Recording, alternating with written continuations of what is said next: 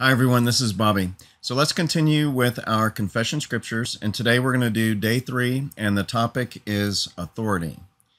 And the reading is Psalm 91, verses 13 and 14. You shall tread upon the lion and the cobra, the young lion and the serpent you shall trample underfoot. Because he has set his love upon me, therefore I will deliver him. I will set him on high because he has known my name. All right. Um, so let's read 1 Peter 5, 8 to 9 and Revelations 12, 9, and then we'll come back and talk about Psalm 91.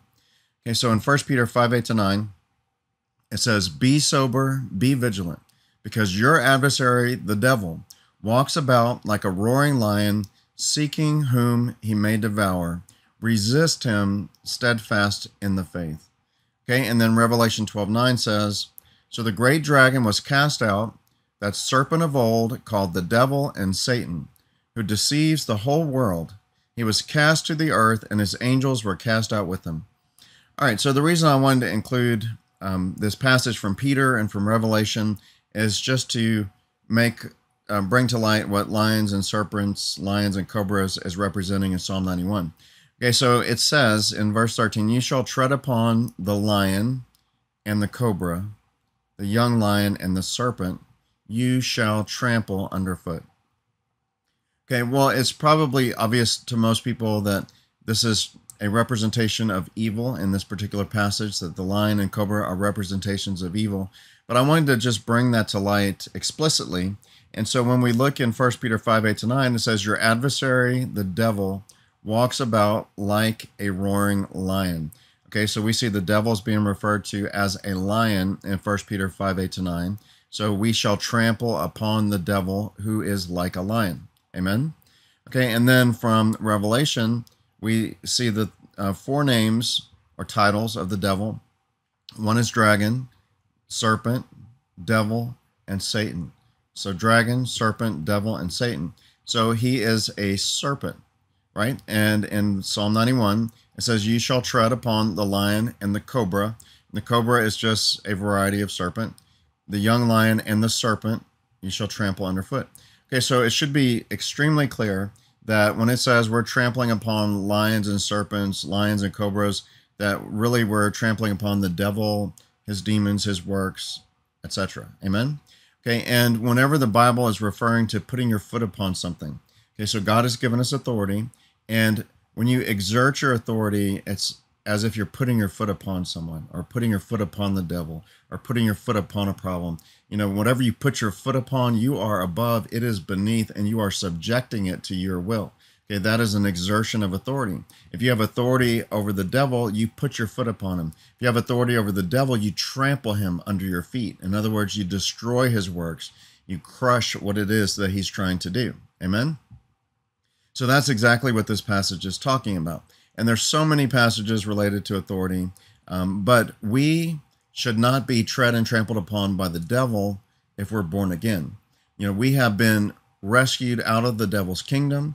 We have been rescued out of the kingdom of darkness. We have been rescued out from under the devil's authority when our sins were washed away by the blood of Jesus. So when we're born again, the tables are turned on the devil. So when we are born again, our sin is washed away. And because of that washing, of sin, the devil has nothing in us. And it is that sin that's present in a person that gives the devil legal authority over them. And when your sin is washed away, the devil has no legal authority over you. And so that means that we are no longer under his authority, but now we're in the authority of Christ. And once we awaken to the authority that God has given to us, then the devil is afraid of us because we crush him, we defeat him, we destroy his works. Instead of him treading and trampling upon us as unborn again people, or instead of him treading and trampling upon us as ignorant, um, meaning not knowing Christians, not knowing our authority Christians, um, once we come out of that naivety, once we come out of that ignorance of not knowing what belongs to us, and once we come out of you know not being born again but being under the devil's rule and reign once we come out of that and are born again and awakened to our God given authority, then we are the devil's nightmare. Amen. We are the devil's nightmare because we tread upon him, we trample him, we crush him, we destroy him. And, and that's why there's scriptures that say, Now thanks be to God who always leads us in triumph in Christ. And there's scriptures that say that we are more than conquerors through Christ who loves us. And there are scriptures that say that we are overcomers. We are um, victorious ones. Amen. And on and on and on. Well, how does that all come to pass? Well, one of the major ways it comes to pass is because God has given us authority over the devil, over all of his power, and over all of his works. Amen. Okay, well, how does how does authority work? Well, first of all, we need to have faith. We need to know that we have authority. So when we know that God has given us authority, that is that is an aspect of faith, right?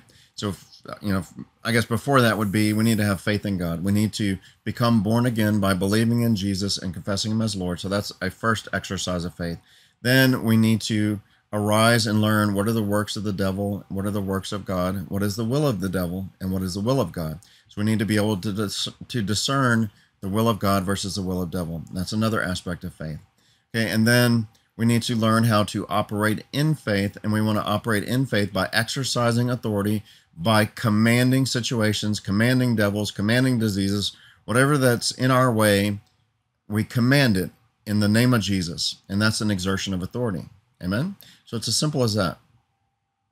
All right, so let's make this into a confession. So again, my normal habit would be I'll read a passage out loud. We've already done that.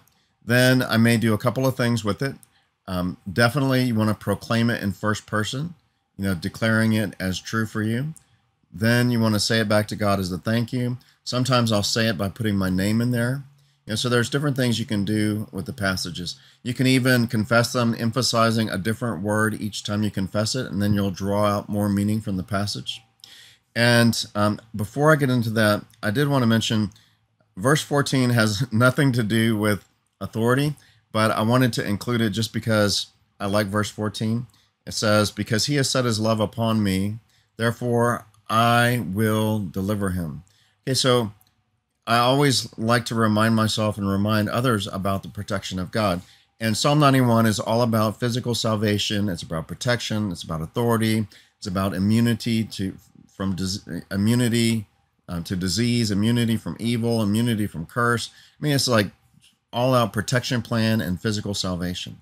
And I just had to include this passage here. So, do we meet the criteria to have the protection of God upon us? Well, if you love God, then yes. Because, okay, so here's the enabling factor. Excuse me. Because he has set his love upon me, therefore I will deliver him. That's a promise. I will set him on high. And this um, set on high, it's actually one word, and it's it's a verb that means to seat on high in a place of safety out of reach of the enemy. That is rock solid. Amen. That's amazing. So, you know, when we love God, when we're in a loving relationship with Him, when we trust in Him, then He promises, it's a guarantee, He will deliver us. Boom, rock solid. He will set us on high in a place of safety, out of reach of the evil one. So the devil, you know, he's jumping up and down. He wants to get to us, but we're way up here and he's way down here. And guess what? You know, he's beneath our feet. So we can tread upon him, we can trample him, but he can't get to us. So we just need to come into a relationship with God. We need to love God. We need to know his goodwill. We need to believe his goodwill. We need to confess his goodwill. And we need to operate as sons of God by exerting our authority. Amen. So, so anyway, I just put verse 14 in there just because I like protection. And there it is. All right, well, Jesus and Father and Holy Spirit, I love you. And I thank you that you have made me into a son of God. Thank you for making me into a brother of Jesus. Thank you, Jesus, for being bold and courageous and loving and coming to this earth to give us salvation, to give us an amazing salvation for this present life and an eternal life salvation. Thank you, Jesus. And thank you that you have given me all authority in heaven and on earth, the authority of Christ you have shared with me. So I declare right now, I declare in Jesus' name, I tread upon all evil. I tread the devil and all the workers of the devil. I tread and trample them under my feet in Jesus' name.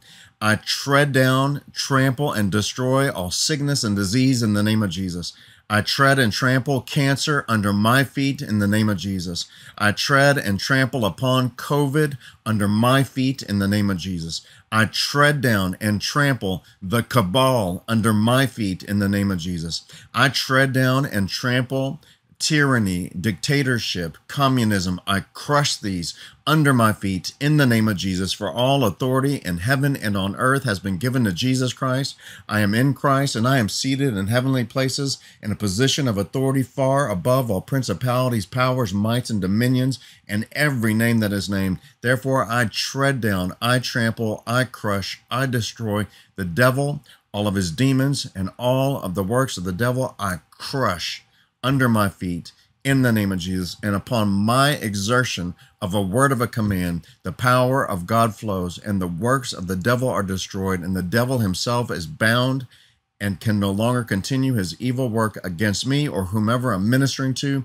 And so be it in Jesus' name. Amen. So, Jesus, thank you. Thank you that you have saved me. Thank you, Father, that you have put me into Christ. Thank you that you have put me into Christ. Therefore, I am the body of Christ. Therefore, thank you that I partake in the authority of Christ, which is all authority in heaven and on earth. Thank you that you have seated me on high in a place of authority above the devil, above all of his kingdom, above all of his works. Thank you that you have given me the authority of Christ with which I tread down, trample, crush, and destroy all the works of the devil. Thank you that you have given me the authority to bind the devil and his works. Thank you that you have given me the authority to set free those who are oppressed. Thank you for giving me, thank you for making me a son of God. Thank you for giving me the authority of Christ. Thank you for giving me the Holy Spirit. Thank you for giving me the miraculous power of God with the Holy Spirit. And thank you that upon my exertion of a word of a command, a word of authority, thank you that your power flows and resolves the situation. Thank you, Daddy. Thank you, Jesus, and thank you, Holy Spirit. Amen. Okay, so at this point, all you want to do is you probably have some situations in life that need to be dealt with. Surely our country has issues that need to be dealt with. All the world has some, you know, global and countrywide issues that need to be dealt with. So we should exert authority against those big problems. We should also exert authority against whatever more individual type things are going on Maybe there's things in your personal life. Maybe somebody's sick. Maybe there's something going on in the workplace. Maybe there's somebody with poverty.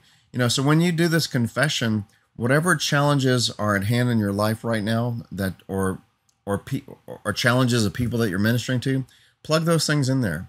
You know, like maybe there's people in your life that are dealing with poverty. Well, you, Poverty is a work of the devil. Stick poverty in here. I declare in the name of Jesus, I have received the authority of Jesus Christ. Therefore, I tread down and trample poverty under my feet in the name of Jesus. I trample lack under my feet in the name of Jesus. I destroy poverty. I destroy homelessness. I destroy hunger. I crush them under my feet in the name of Jesus. And by the power and authority of God given to me, I exert a word of command and I bring forth provision to those with need.